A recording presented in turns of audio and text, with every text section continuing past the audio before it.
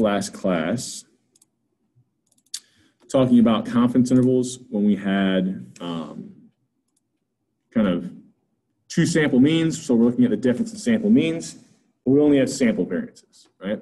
So we're going to do the same type of example today, but we're going to see how we do hypothesis testing. Right? Once we work through a hypothesis testing example, I'll, I'll kind of show you how we do this in Excel. So the steps are going to be exactly the same as what, whoops, what we were doing before. The only kind of difference is now our degrees of freedom, right? It wasn't n minus one because we have two populations. We said we had to use that crazy equation, right? So we're kind of using delta to kind of signal signify that equation right? I'm not going to make you kind of do this. I'll always kind of give you what this value is. I'll give you what the degrees of freedom is. And then here's our test statistic equation. It should look exactly like the same equation that we were using before for the difference in sample means. It's just now, instead of kind of population, we have sample variances. So if we go back, I think it was would have been on Friday, and Wednesday, Friday of last week, this is what we were looking at, right? It looked exactly like this, but now we, because we only have sample variances, our test statistic isn't a z statistic, it's a t statistic. So if we work through an example, right, and kind of see how we apply this when we have some actual values, let's assume we want to determine whether or not male doctors earn different salaries than female doctors, right? Maybe we want to do some kind of wage gap identification and stuff. So we take two samples, right? 41 male, 41 female physicians. We've got two different sample means for those groups, and then the sample variance we find. Okay? Well, if we're wanting to just test for whether or not these salaries are different from each other, what we're thinking about there is really, is that mean male salary anything other than that female mean starting salary? Well, if I write out my assumptions based off of what the difference is, I have to rearrange this a little bit so that I'm thinking about the difference, right, just use a little bit of algebra, subtract the mean of females from both sides. So is that difference anything other than zero, right? So I'm not actually assuming any values, right? These two could be 150,000, they could both be 170. All I'm saying there is like, is that, is that difference anything other than zero, which makes my null, right? Whatever I want to test for is my alternative hypothesis. So my null would just be the complement. The complement of not being equal to zero is being equal to zero. Right?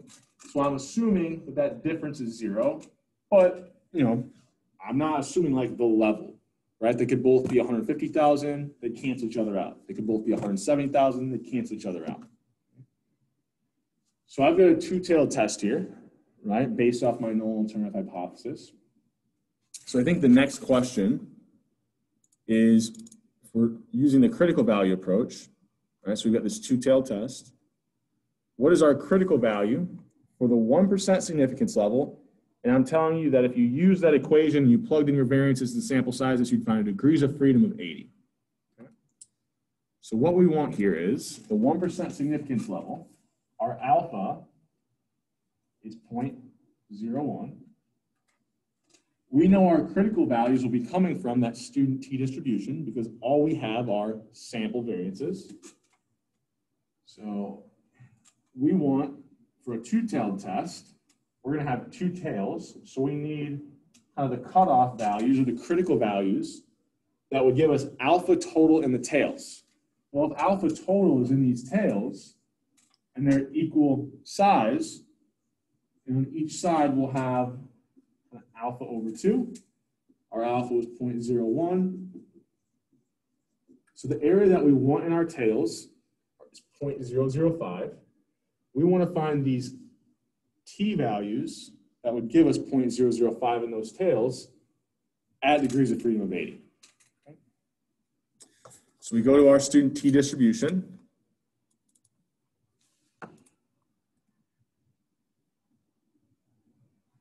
we wanted 0.005 in our tail, all the way down at degrees of freedom of 80. So 2.639. Right? So our critical values are 2.639 and negative 2.639. right? We have a pair of critical values for these two-tailed tests. We can think about our rejection region as anything more extreme than those critical values or larger in absolute value, or draw the arrows into the tails. So now what we need is to find our test statistic, right? If it falls in that rejection region, I reject. If it's not in that rejection region, I'd fail to reject, okay? So another way to think about this is basically, if I see any sample evidence that is more than 2.639 standard deviations away from the assumed true difference, then I can reject. So we go back to the example that we had. We've got our critical values. Now how do we find our test statistic? Well, we have that equation that I showed you earlier. It's really, once we've identified the correct equation used for our test statistic, it's just a matter of plugging in values, right? So here I've got my test statistic equation. I said I'm always giving you examples where the assumed true difference is zero. So this kind of like goes away. So you just take the difference in the sample means, divide by the square root of each group's sample variance divided by its sample size. Okay. So I think once we kind of get through all these examples and um, maybe once we get, uh, you know, I kind of do a couple videos after Thanksgiving of like some exam review stuff. I'll kind of walk through. It's really the, the important thing with test test statistics is being able to identify the correct equation. But if you see these on like a formula sheet and you're looking for the differences in sample means and you only have sample variances, this is going to be your guy. Okay. So once we get everything plugged in, we get a test statistic of 23 almost. That's huge. That means I'm 20. The sample evidence I found, which was a pretty big difference in salaries, is 23 standard deviations away from that assumed true difference. So if I'm thinking about where my test statistic is, I'm plotting it, 23 is like way over here. Excuse me, it's supposed to be a T. So I'm clearly in my rejection region, right? So I can, I can reject, and my alpha was 0.01, so I can reject at the 1% significance level or kind of with 99% confidence. Okay? Any questions on that? What if I had asked you to find the p-value? So the p-value is the probability I saw the test statistic I did or anything more extreme. Now I have a two-tailed test, so I'm gonna have to remember I multiply it by two, but what's that area gonna be really close to? The area to the right, if the area to the right of 2.6 is 0.005, the area to the right of 23 is basically zero, right? Almost zero times two is still gonna be pretty close to zero, right? So I'm going to have a really low p-value. My p-value is approximately zero. Right? So if I only reject if that p-value is less than alpha, doesn't matter what alpha I put in here, zero is going to be less than all of them. So I can reject at pretty much any level in this example. Because I found really strong evidence that the assumed true difference of zero is in fact not true. Right? I found a sample difference that was pretty, I think it's like $30,000 or something. Okay. So we got our test statistic. What levels can we reject that? And 99 problems, but rejecting the only one. Um, anytime we have a really like a p-value that's close to zero, right, we're going to be able to reject at any alpha. So instead of doing matched pairs, oops, exit out of this. There we go. We're going to look at how we do some of this in Excel. Okay. So if you go to the male data sheet, right, we have this female data sheet as well. I separated kind of out male and females um, from, from an original sample, and I've got their BMI. So I use the average function, to find female BMI, the sample variance in female BMI, and the sample size of females that I had. And then on this male data sheet, did the exact same thing, but for the male BMI, right? We've done this a, quite a few times, so I'm not gonna review this too much, right? Use the average function to find the mean, var.s to find the variance, and the sample size, we'll just use that count function. I also could cross-reference the sheets here, right? I just put equals, clicked on the sheet that had the female mean, select it, hit enter, and now Excel automatically kind of put in, use that female data sheet and go to L2. Okay? So I've got my sample means, sample sizes, oops, sample sizes, and my sample variances. That's everything I'm going to need to build confidence intervals and do some hypothesis testing.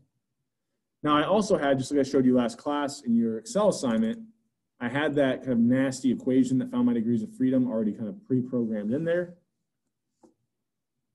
I can't use it like this. I need an integer, so I pushed it down, or I floored it down to the next lowest integer. So even 6,459.8, right? We don't use normal convention like rounding rules. We always round it down when we're trying to find the degrees of freedom here. Okay? So here's my degrees of freedom. If we remember what we were doing last class, we had this equation for our confidence intervals. So here's our lower bound, here's our upper bound. We're basically going to use Excel to be our calculator. And we're also going to use Excel to find these exact values for the t for our um, for these t values that we need. Okay. So the first thing we're going to do is let's find those t values. Anytime we know the area that we want in the tails, and we can think about the tails here like are the two sides of my confidence interval. I'm working in reverse where I know the area and I want the t value that gives me that area. So alpha divided by 2, right? Half of alpha on each side of my confidence interval, comma, here's my degrees of freedom. Excel will kind of use that degrees of freedom and find what t-value would give us alpha over 2 on each side of our confidence interval. Now, the issue is when we use this, we're always thinking about the area to the left. In my equations, I already have built in kind of the negative and the positive sign. So I just want to, whoops, so I just want to use Excel, right, to give me that, that absolute value. So I include ABS there at the beginning. Now I know that it's just going to give me the absolute value of that t value. So I'll hit OK. Right now I've got my t value. Now if I copy this down, what went wrong? Well, I did want my alpha to update when I'm building the three different levels of confidence, 99, 90, sorry, 90, 95, 99. But my degrees of freedom, that reference should stay the same, so I'm going to put some dollar signs around that. Okay? Now when I copy this down, it won't update that cell reference. It only updates the cell reference for alpha. At this point, I'm really just using Excel to be a calculator. So if I look back at that confidence interval equation for the difference in sample means, I build my interval around group one minus group two, the difference in their sample means. I then subtract my margin of error. My margin of error is composed of this t value multiplied by the square root of each group's sample variance divided by that group's sample size. Then add in the next group's sample variance divided by that group's sample size. And that should give me the lower bound. Now, one of the useful, you know, the powers of Excel is I don't have to sit and enter this into my calculator once to find the lower bound, another time to find the upper bound, then do that again for the next confidence level. I can copy this and can have it, do it all pretty quick. Now, the issue is when I'm building different levels of confidence, the only thing that really changes in my equation is this t-value. So everything else I want to stay the same, right? I want to keep using these same values, so those cell references shouldn't change. So I'll highlight this, hit Command T on a Mac, FN F4 if you have an FN key. If not, just hit F4. Select this over here. We don't want this to change, so kind of freeze that as well. Let me go over so we can get this on one line. There we go. And now I have my equation that will give me that lower bound. Okay. If I copy this down, notice it keeps using this original values. It just update, updates that t value. Okay. So I want the exact same equation for my upper bound, but instead of subtracting that margin of error, I want to add it. So I'm going to go into this cell, copy, hit enter, go to the cell, paste it. When I do it this way, my cell reference here doesn't update. The only thing I want to change now is instead of subtracting that margin of error, I add it. Once I've got that, I'll copy this down, and I've got my three confidence intervals. Any questions on that before I keep moving? So what's interesting here is, I want to point out two things. One, I look at these t-values, and I go back to the example we used what it would have been last Friday, I think. When we're using that standard normal distribution, these values are very similar. 1.644, 1.959, 2.575, 1.6450, 1.96, 2.57. They're really, really, they're, I think out to the fourth decimal is, they look almost identical. And the reason why is because as we get higher and higher degrees of freedom, our student t-distribution starts to get closer and closer to a standard normal. Notice we got a really high degrees of freedom here. Right? We have sample sizes, kind of a total sample size of, of over 6,000. Okay. So we get t-values, but nonetheless, they're very exact, right? It's still using that student t-distribution. We don't have to approximate it. Also, what we can say is with 90 and 95% confidence here, I know that the true difference between kind of male and female BMI here are only negative values. So what that's telling me is with 90, 95% confidence, I could say that kind of male BMI is lower than female BMI, right? Now, once we get to hypothesis testing, we'll talk a little bit more about does that even mean anything here. But with 99% confidence, I actually couldn't say that they're any different. Even based off having a sample that's this large, zero is still one of the possible values here, right? I mean, there's even positive values. So I don't even know which way, would you men have a higher BMI? Based off the sample, I can't say with 99% confidence, okay? So we'll go through some hypothesis testing and kind of relate that to the statements I just made about the confidence intervals. So the first thing is let's find our test statistic, right? This is basically just using Excel to be a calculator. We're going to take that test statistical equation that we had and just get that entered into Excel. Okay? So we're going to take the difference between male and female BMI, so the difference between those two sample means. We'll then subtract this assumed true difference of zero. Okay? So that's my numerator. I'm use some parentheses here to make sure my order of operations works correctly. I'll then divide by the square root of each group's sample variance divided by that group's sample size. Add in the next one. And that's all I need to do for my test statistic. So this is going to tell me how many standard deviations away the sample difference I found is from this assumed true difference of zero. Now, you don't have to necessarily subtract that zero if you don't want to. I'm going to show you something in a little bit that just to kind of show you. I'm giving you examples that are always zero, but you could in the application use other values. So we get a test statistic of about negative 2.36. So what we're going to be doing is, first I'm going to find, I'll show you how to do kind of the critic, um, First, we'll look at using that test statistic, how do I find my p-value? So negative 2.36, my p-value would be the probability I saw something that far away from the assumed true value or even further that goes against the null. But the problem is with a two-tailed test, it would have been equally as likely that I saw something that went against the null over on this side as well, if in fact that null hypothesis was true. So once I find this area, get my total p-value, I need to make sure I multiply by two, whatever area I find by two, because I've got another tail. Okay. So how do we do that in Excel? Well, using that test statistic, right, I can use not, you know, I'm, not, I'm using a student t-distribution, so t, and then I know the t value now, and I want the area to the left, so I'm going to use this t dot dist. Tell it my test statistic, comma, tell it my degrees of freedom, comma, put a one in there that just tells it, make it cumulative, look for the area to the left, hit enter, so I've got my p-value. But what did I forget to do? Well, that just tells me the area in the left tail. I have two-tail test here. I'm testing for whether or not that difference is not equal to zero. So I need to multiply the area in the one tail by two because I know I've got two tails now for a two-tailed test. Okay? And that's how I get my p-value. Okay. Questions on that?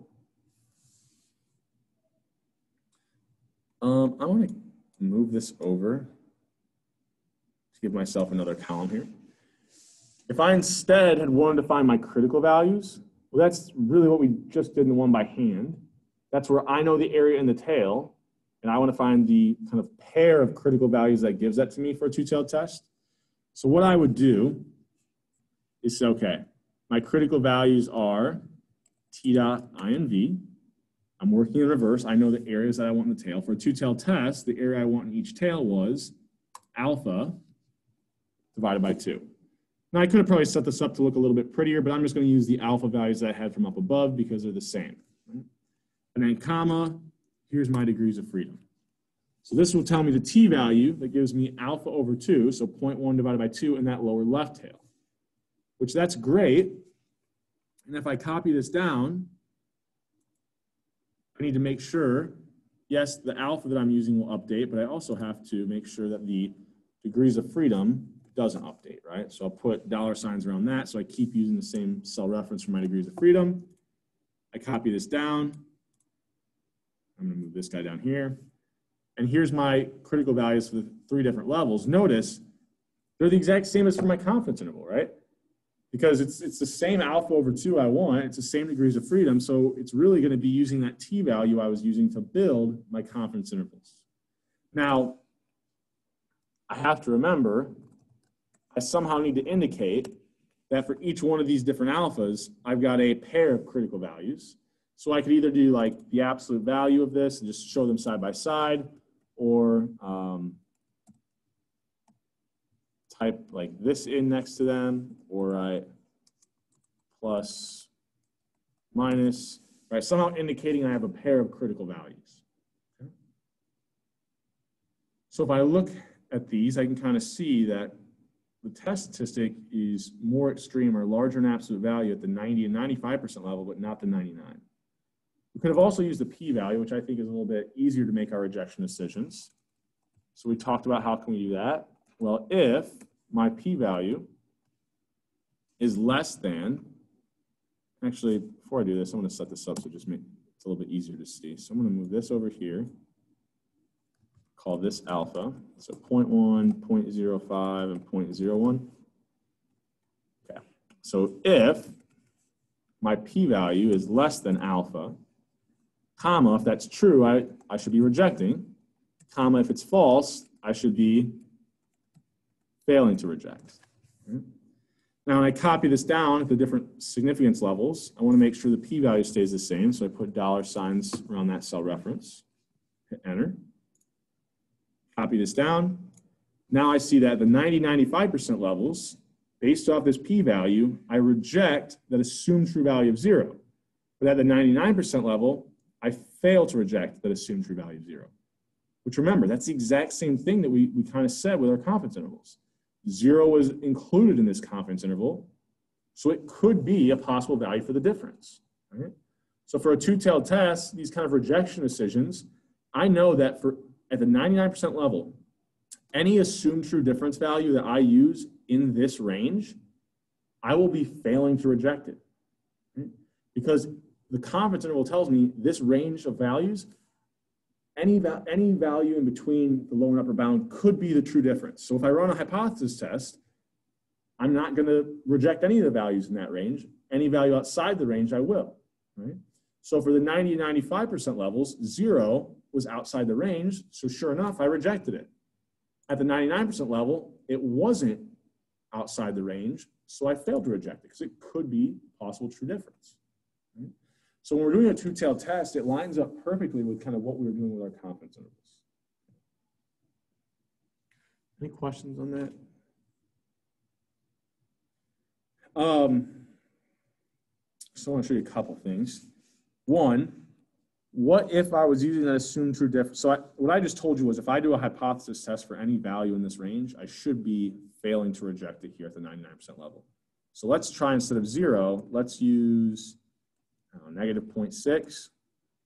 Sure enough, I'm, I'm failing to reject it. What about negative 0.76? Right? I'm failing to reject it. But what happens if I go just outside the range, negative 0.77? isn't uh, two-tailed? Oh, because I have this set up wrong. Hold on. Let's do, because uh, I had this was negative and now I'm getting positive test test statistics. Give me one second. Actually, this is, brings up a good point. So I'm never going to make you change this from zero, so you, you don't necessarily have this issue. But another way you could have found the p-value that kind of prevents, doesn't matter if your test statistic is positive or negative. If you use the t dot um, dist dot 2t, and then you put in the absolute value of your test statistic. It, it needs you to do that because it can't recognize negative values. I don't know why they can't write the function to do that. They should be able to. Comma, degrees of freedom, close my parenthesis. Who knows, maybe someone from Microsoft will stumble across my YouTube video and then they'll fix it. But, um, so I'll hit enter here. So it does kind of the, the same thing. Um, it just multiplies it by two for me. So let's go back to zero, right? So that was the original p-value we had. It's the same. I go to negative 0.76, that's in this range, so I should be failing to reject it. If I go to negative 0.77, it's just outside the range, and now I'm actually rejecting that value, right? So any value I choose within this confidence interval for a two-tailed test, I'll be rejecting the values outside that range, failing to reject the values in that range, okay? Well, back to zero though. Any questions on that? I won't make you ever use non-zero values, but just to kind of show you, kind of line up those things I wanted to. So I did all this work. I found the test statistic. I found the p-value, uh, rejection decisions. Do I need to like do all this kind of behind the scenes? Well, Excel will actually do a lot of the work for us if we use this shortcut called t-dot test. So I'll first show you why it's really useful, and then I'll tell you why it's not as useful. So what I do with this t-dot test is I originally had two variables, right? The first was I was looking at male BMI. So I'll select that column of data. I'm going to scroll up here just to kind of show you that in the cell. Comma. The next thing I select is the second variable I was using, which was female BMI. Well, that was on a different sheet, so I'll click on that sheet and select female BMI. Now I can kind of see what it's putting into my equation up here in this formula bar. Anytime I kind of select to go back to that male data sheet, so actually I don't want that, hold on. Okay, so let me do this again because I want to make sure that I show you guys how to do this correctly. So I go to that female data sheet, I then select this female BMI variable. I then go up here and put a comma in and go back to my male data sheet. See how it kind of put in reference that male data sheet? I don't need that, right? I know I'm on the male data sheet now. And because I'm picking cells from this male data sheet, I don't have to worry about putting in. So I just deleted that. So after I put a comma, so it takes that male BMI data, takes the female BMI data, then asks me what type of tail test. Well, I had a two-tailed test, so I put a two. One if I had a one tail test. And then I have three options. The only options we're ever going to use for this class are the one and the three. Okay? So inevitably, when someone does the Excel assignment, someone's going to choose two, and it doesn't matter what example, we never use that. We're not going to use that one. So we'll talk about matched pairs a little bit before we get out of class today. But the one that we're looking at is we have kind of two samples, two sample means, and the variances aren't the same, right? The variances that we're, we're sampling aren't the same. So we're going to choose option three. I then close that parenthesis. What this does is it calculates from the male BMI variable I selected, it'll calculate the mean, the sample variance, the sample size, and then goes to that second variable, takes the mean, finds the mean, variance, and, and sample size. Using those, it then sets this up as group one minus group two, calculates your test statistic, because it's got all the things it needs now to do that. From there, it also calculates the degrees of freedom, uh, goes to the, the, the, student T distribution for that degrees of freedom, uses that test statistic, finds the area, you know, in the tail, it's a two-tailed test, it multiplies it by two, and it spits out at you the p-value. So if I hit enter here, you get the exact same thing as if I had done all the kind of work behind the scenes. Right? Now, that's really useful and like a great shortcut for sure and saves us a lot of time. The only issue is there's no option in that T dot test for me to change this value. So for us, anytime we're looking at, you know, do I want to find the p-value here?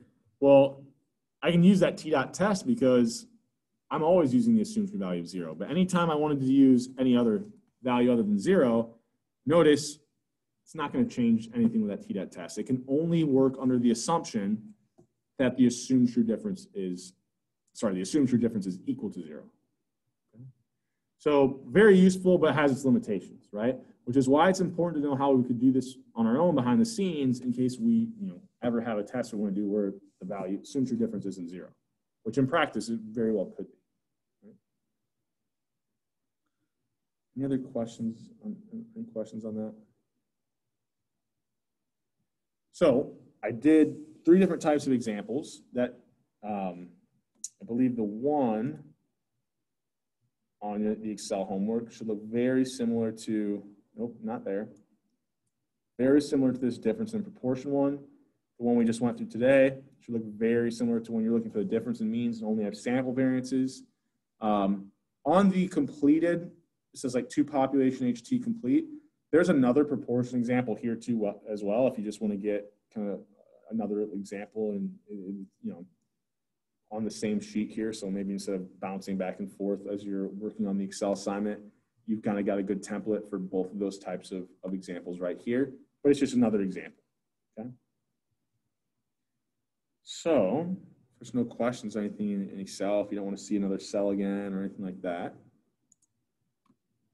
I'll introduce kind of the next idea to you.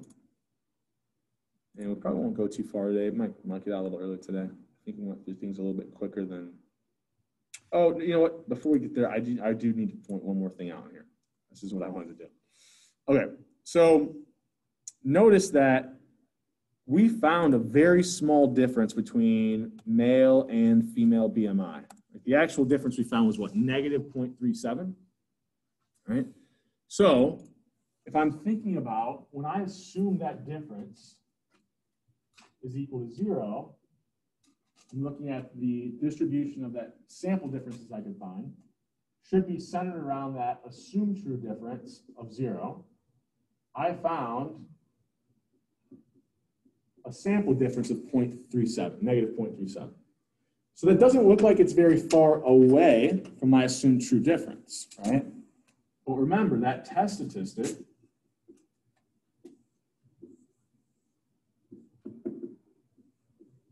has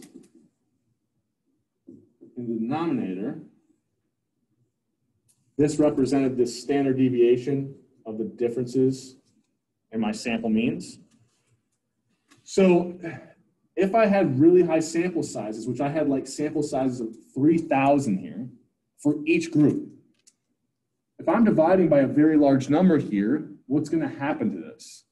Starts to get really, really small right?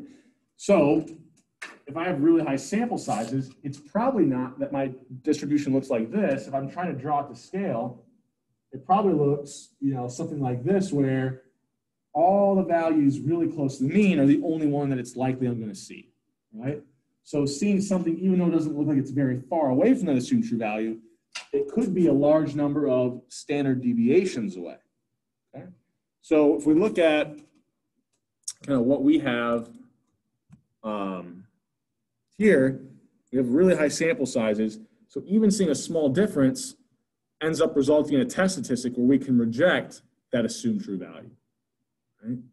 Um, so I, I, wanted to kind of make sure I kind of kind of went through that and pointed that out.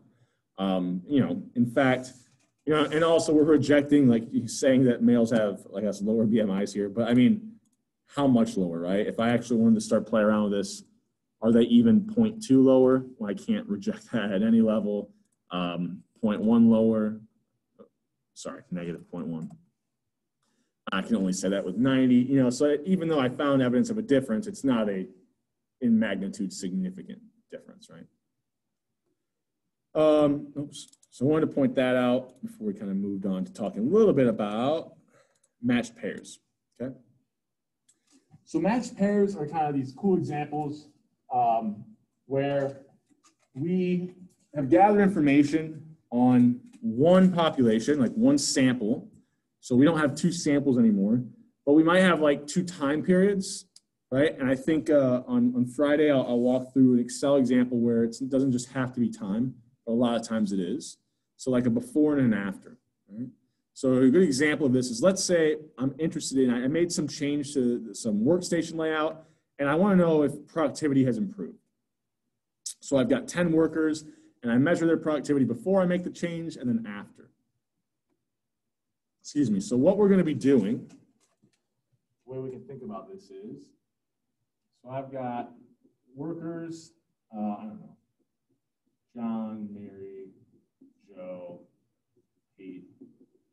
10 workers, right?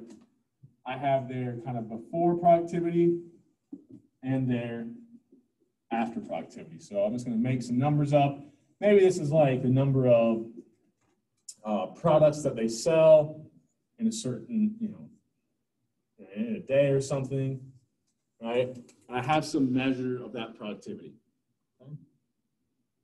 Well, um, what I'll do is I'll create this new this new difference variable where I look at what was the change for each individual in their productivity. So John's went up by four, Mary's went up by one, Joe's went down by one, and Pete's went up by five. What I'm then going to do is I'm now going to treat this difference variable the same way I would a sample mean, right? I can find the average difference or the average change in productivity. I can find the variance associated with that difference, right? And I can then do things like say, well, is that difference greater than zero, right? Was there a, on average, was there a positive change in productivity? Now, it's not quite the same thing as looking at what was, you know, after productivity's mean minus before productivity's mean. Here we're looking at what was the average change per worker, right? So we're looking at the same sample, kind of the difference between two time periods like I said, next next class I'll show you some examples where it's not just time periods, but a lot of times it, this is this is how we'll have it set up. Any questions on that? Does that make sense? So we'll create this new variable, but now once we have this new variable, it's essentially everything we were doing before with a sample mean. So one population. So I create this new difference variable. I can then find the mean of that difference variable and the variance of that difference variable, and I can start to build confidence intervals. Well, I mean, notice this is, I mean, what we had before when we were looking at a one population sample mean example. And our degrees of freedom here was just n minus one. It's going to be the exact same thing. It's just now we're notating that, well, we weren't just looking at an original variable x, we're finding the mean sample mean of this difference variable that we created, which kind of represents this change. We only have a sample variance, so we still use kind of that student t distribution. But remember, we only had one population. It was the same 10 people. So we go back to being able to use n minus 1 as our degrees of freedom, right? And then here, it's the same thing. It's just now my variance is for that difference variable, and I've just got my one sample size. So it's going to be almost identical to what we were doing before. When we had a one population sample mean example. It's just starting out, we had to calculate the variable that we were finding the mean of, right? Um, that's not going to be anything, anything too crazy. In fact, I'll just kind of, since we got a little bit of time here, we'll work through some more examples, kind of um, with some actual numbers next class. But in Excel, just to give you another view of like what this would look like, I might start out with, oh gosh, what did I do wrong there? Hold on.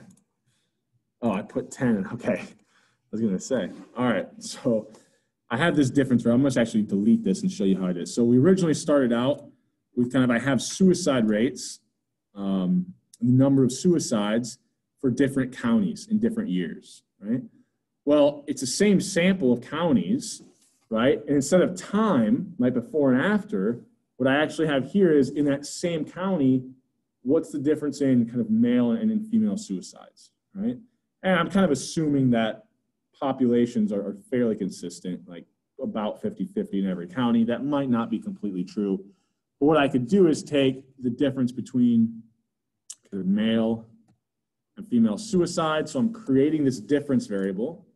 To do this for every single observation, if I get this black little arrow when I'm on over this green box, if I double left click, it'll basically do fill out the entire kind of kind of data set, right? So I don't have to like drag that down. I can double double left click there and it'll do it for me. Well, now that I have this difference variable, it's just, okay, I can find the average difference, the mean, sample mean for this difference variable. I can do the sample variance. I mean, this looks exactly like what we were doing before, and I can do my, use my count function to find my sample size, right? Nothing, nothing's, it looks exactly like what we're, we would be doing if we had a one population sample mean example. Um, so we'll, we'll use this example next class. We'll do some confidence intervals, we'll do some hypothesis testing. Uh, we'll work through a few more examples um, by hand as well. I'll probably introduce the idea of linear regression Friday. And then uh, I don't know if we have any slide. I'll probably have to, I'll probably throw in some additional slides and re-upload the week 14 slides because I'm guessing we'll have some time and I want to introduce the idea of linear regression. Um, what I'm going to do though, because I am going to Phil, I mean, I'll be here Monday if you want to show up, if you don't understand, but I'll be filming a video either, or a, a recorded lecture either way. I want you guys to read through um, some linear regression stuff um, by that class on Monday. So I'm going to put up a, the last, so this should be the last Learn Smart, and I want you to try to read through that um, either this week or, or this weekend, but prior to class on Monday. Okay? So that'll, that'll, be getting popped up there on, on, uh, on Canvas. But that should be some easy points. I guess that's the last Learn Smart. Make sure you get on and get it done. Um, other than that, are there any questions for me? Because otherwise, um, probably end it here and we'll, we'll pick up this discussion on Friday. Okay? All right. We'll see you guys on Friday.